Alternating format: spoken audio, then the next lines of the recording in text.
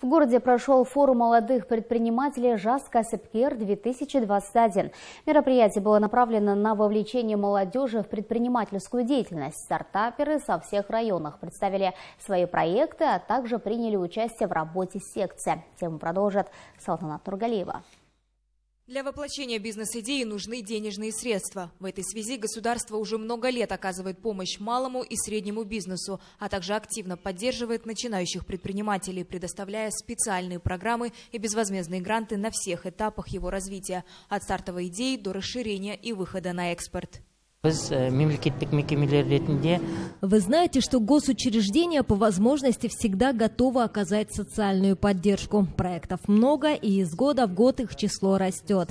Если подводить итоги, то в этом году по городу было выделено 342 гранта. Предприниматели запускают пусть и небольшое, но свое дело. Среди них есть и молодежь до 29 лет, граждане, которые получают соцпомощь, и многодетные матери.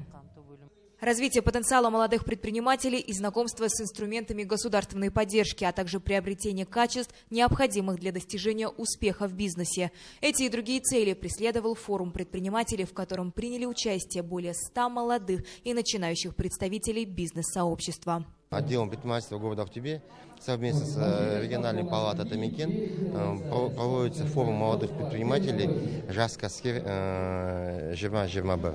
И, как вы знаете, основная молодежь является драйвером экономики и в целом направлен на повышение компетенции молодых предпринимателей и участие их в государственных программах поддержки предпринимательства.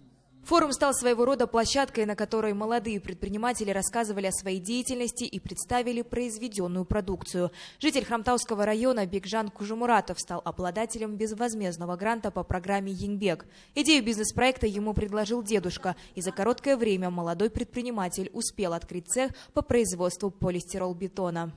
В 2021 году по программе «Янбек» я получил грант в размере 583 тысячи.